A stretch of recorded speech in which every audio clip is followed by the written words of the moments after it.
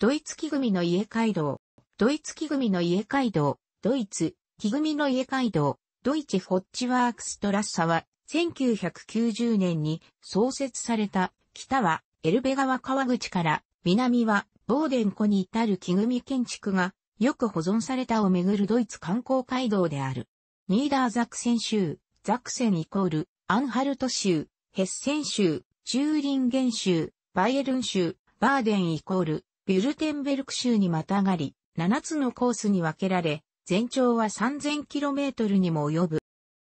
ドイツ木組の家街道の設立母体であるアージ、歴史的木組の家、EV は1975年に設立された。その目的は、様々な様式を持つドイツ木組建築の多様性という文化遺産を保存することにある。文化的に興味深い建築に関する情報を広く知らせるべく、1990年に設立されたのが、この観光街道である。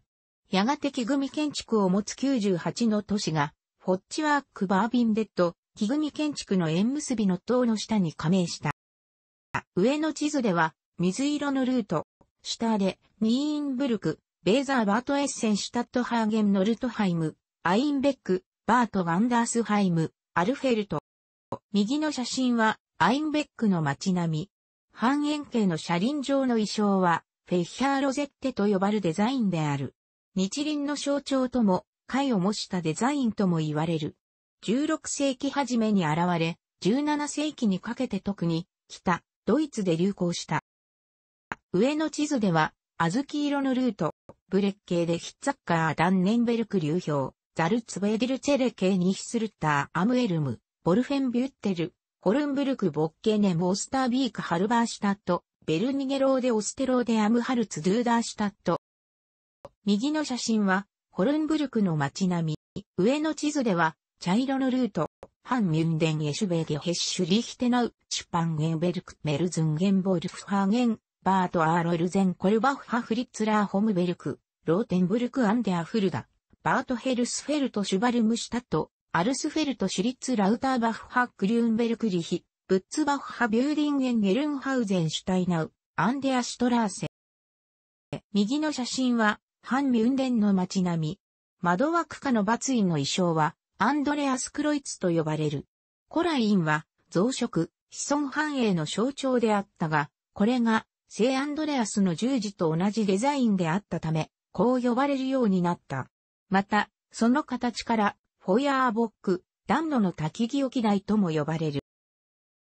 上の地図では、オレンジ色のルート、シュトールベルク・ブライヒャーローデ・ボルビス・ミュールハウゼン、チューリンゲン、バンフリート・トレフフルト・ファッヒャシュマルカルデン。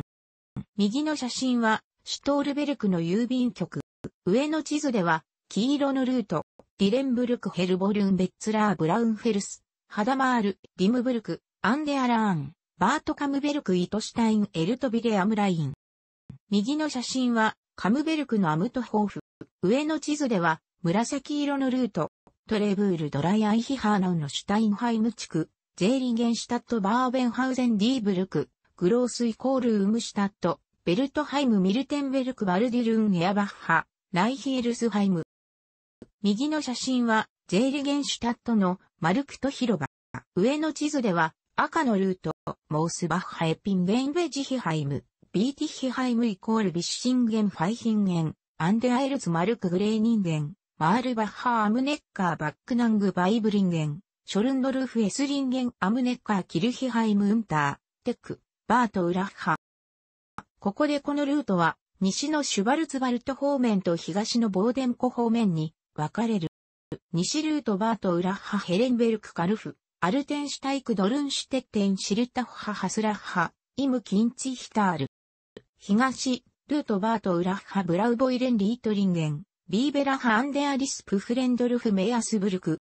右の写真は、ヘレンベルクのマルクト広場。ネッカー川以南の木組建築は、アルマン地方、アルザス南部、ドイツ南西部、スイスにかけての一帯の建築様式の影響を受け、カラム、垂直の柱の間を広く取り、フロア間の梁を二重にした構造となる。